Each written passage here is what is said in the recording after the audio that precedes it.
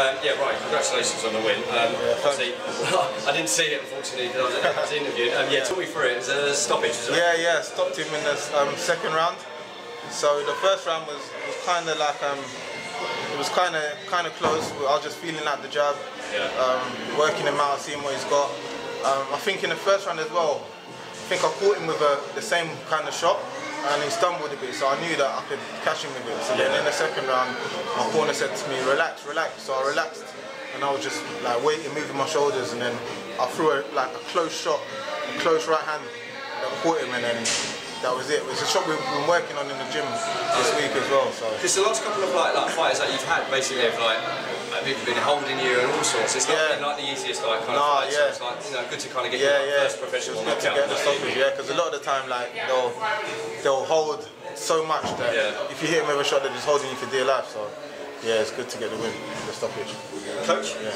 Yeah, I mean, obviously Ryan, Ryan's at his conversion stage now, you know, and um, in the gym, the difference with this fight was we actually started working on things like getting close. So it's pretty much just conversion from the amateurs to the professionals. You'll see a lot more of these things. You see he's punching a lot more shorter, he's getting inside, he's moving his shoulders. So, you know, early days, but good days, you know. Um, it's a good win. It's a win we needed to have to grow. So from there onwards, you'll see very much that type of fighting. You know, he's punching more precise, and you've got to gain the confidence. You know, when, when you look at boxing on a bigger scale, you've got to get these confidence. His confidence is coming good. So hopefully from there we take off. Well, getting getting the knockouts, obviously, you know, uh, it's certainly going to build the confidence.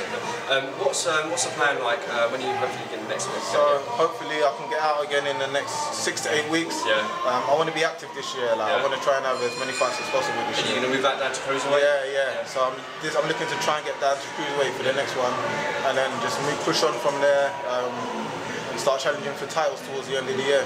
So yeah, man, that's the plan.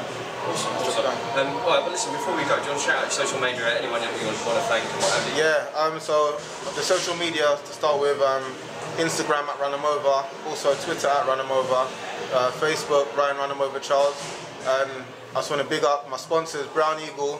Um, without them, like I couldn't do what I'm doing, so big them up. They help me so much. Um, big up Bodyworks Gym, Ankara. Um, yeah, so everyone, all the fans as well, everyone supporting me. I'm starting from the bottom up, so you know, I'm just working my way up, working hard, just trying to do what I do. So thank you, Well, listen, everyone. thanks so much for both of you giving us a bit of your time, and uh, yeah, we'll hopefully look forward to seeing you soon. And uh, yeah, good luck. Okay, thank you. Cheers.